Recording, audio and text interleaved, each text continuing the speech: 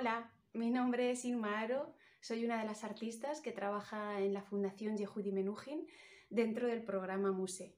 Hoy os vengo a plantear una sesión para realizar en familia extraída de mi libro de creatividad Darte de comer con el plato vacío. Eh, la sesión que os propongo eh, tiene que ver con la realización de un antirretrato familiar. Eh, lo podéis hacer con dos versiones diferentes. Podemos enfocarlo a una foto de familia grande donde estén incluidas todas las personas que, habitáis en esa casa y que conformáis esa familia, o bien podéis hacerla de cada uno de los miembros de la familia de manera individual. Lo que os voy a pedir es que imprimáis dos fotos de cada una de esas versiones. Si es de cada persona de manera aislada, pues dos fotos de, esa persona, de vuestro hijo, de vuestra hija, de la mamá, del papá, si está la abuela o el abuelo, pues de cada una de esas personas.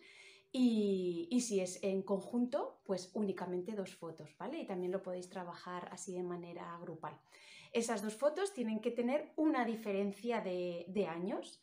Si vuestros hijos e hijas son peques, pues claro, la diferencia será menor, pero a lo mejor podéis aprovechar una foto de ellos y de ellas de bebés o si ya son personas más jóvenes, pues mm, sacando una de niños o niñas y otra de la actualidad, pues sería suficiente. Lo mismo también para esos padres y esas madres, ¿no? Que, pues que la idea es que, que haya una, una diferencia de edad entre una imagen y otra.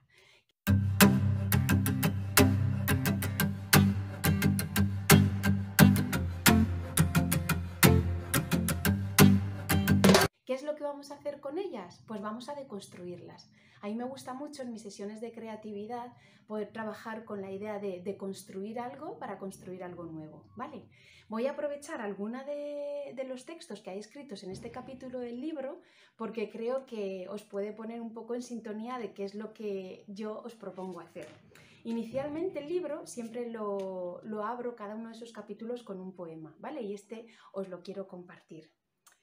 La mujer se ponía enfrente del espejo una y otra vez. Examinaba cuidadosamente cada una de las partes de su cara. Asimilaba sus formas, sus muecas, sus arrugas a punto de guiñarle el ojo al tiempo. Miraba dentro de sus cavidades a ver si encontraba las respuestas, pero por más empeño que le ponía, no conseguía reconocerse. Y aquí es donde me quedo, en eso de no reconocernos, en cierto modo, porque en el fondo Claro que sabemos que somos nosotros y nosotras mismas, pero de alguna manera, cuando yo coja esas imágenes que me pertenecen y empiece a, trocearlas, a recortarlas, a pegarlas por otro lado, pues voy a ver a alguien que nunca he visto, ¿no? Y yo creo que eso es lo, lo especial de esta sesión.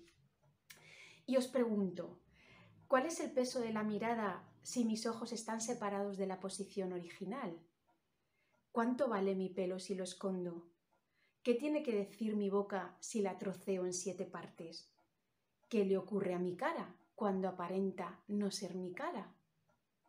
Todas esas preguntas a mí me encantaría que si la sesión es conducida por una persona adulta, entiendo, de la familia, pues podáis planteársela a los, eh, a los peques o a vuestros hijos e hijas que ya sean jóvenes, ¿no? que no sean tan chiquitines.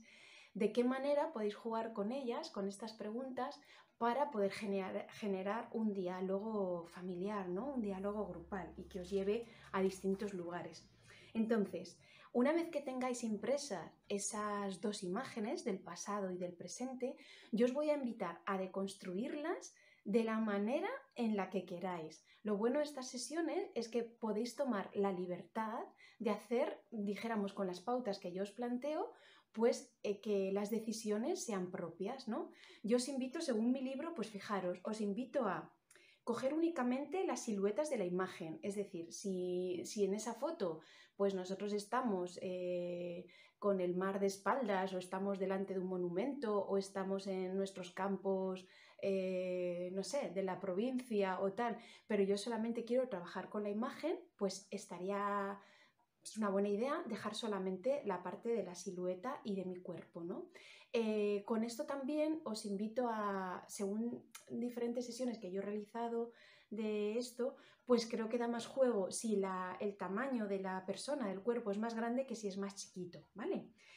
os invito a, por ejemplo, obstruir el rostro con algún elemento que esté delante de él, ¿no? ¿Qué pasa si yo le pongo delante recortes de telas, de otros papeles, eh, si lo distorsiono con la parte de abajo de un vaso, como si fuera una lupa?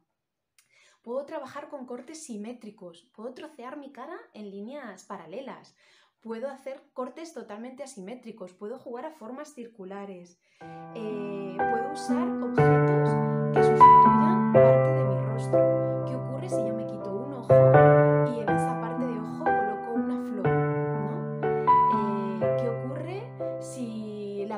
la boca la lleno de sal? ¿Qué ocurre si dibujo mis orejas y les saco, no sé, eh, unos hilos que dejen caer como si fueran pendientes? ¿Qué ocurre si me quito el pelo? ¿no? Porque efectivamente no somos los mismos y las mismas con unos elementos que con otros, ¿no? Puedo utilizar contraluces, claroscuros, puedo eh, colorear encima de mi imagen. Todo lo que queráis está totalmente a vuestra disposición. Solo necesitáis tirar de vuestra imaginación, de la creencia de que sois personas totalmente creativas y del deseo y el placer de poder hacer algo en familia. Yo creo que desde ese lado el resto de la sesión está prácticamente hecha.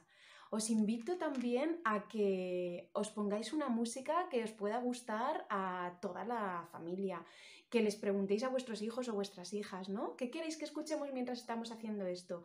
Que toméis espacio en la mesa de trabajo, eh, ya sea la mesa del salón, la mesa de la cocina, un lugar que sea amplio para que tanto ellos y ellas como vosotros y vosotras tengáis eh, los materiales disponibles, tijeras, pegamento, eh, otras hojas para recortar, Mm, extractos de revistas, que podáis extraer también de ahí letras, pues si queréis poner algo hacia esa persona o hacia toda la familia. O sea, desde ahí podéis construir el antirretrato que realmente eh, os parezca, ¿no? Porque, porque es vuestra decisión, ¿vale? Y la idea es pasar un momento, pues, no sé, feliz, que sea simbólico, que cuando pase el tiempo y veáis el antirretrato familiar que habéis construido eh, os provoque alegría o el buen recuerdo de ese momento que vivisteis. Si, por ejemplo, en la familia hay cuatro personas, podéis decidir qué hacéis con ello una vez que cada cual ha hecho su antirretrato o que habéis mezclado los trabajos, ¿no? Decidís que lo ponéis todo en un mural y, desde ahí pues veis a la familia en conjunto, decidís, no sé, enmarcarlos, aunque sea con cartón, o sea que no necesariamente tiene que ser un marco de madera, algo que, que haya que gastar dinero, ni mucho menos, o sea que se puede hacer de muchas formas. Decidís, por ejemplo, poner, ¿veis eh, estas fotitos que hay al final de mi salón, ¿no? Que son chiquititas, pues decidís que estén ahí las cuatro fotos juntas eh, los cuatro trabajos que habéis realizado, cómo queréis colocarlos. Eso también es súper importante, porque al final cada una de las obras que creamos tiene su sentido desde el principio hasta que terminamos la creación. Desde que coloco todos esos materiales con los que voy a, a trabajar ¿no? y a manipular los elementos hasta que decido darle un final colocándolo en un lugar determinado. Lo mismo os digo con el título de las obras. Cuando nosotros terminamos algo y ponemos un título, mm, adquiere una consistencia totalmente distinta, porque estamos nombrando lo que hemos hecho y sobre todo porque de esa manera también le dais la palabra a vuestros hijos e hijas y ahí trabajamos otras competencias con ellos, no solamente la competencia plástica, sino también el sentido crítico de que tengan que nombrar algo, eh, el empoderamiento que supone que, se hacen cargo de lo que han hecho y que asumen que el hecho de titularlo le va a dar como un sostén final, o sea, que les va a poner su marco contextual al trabajo que han realizado.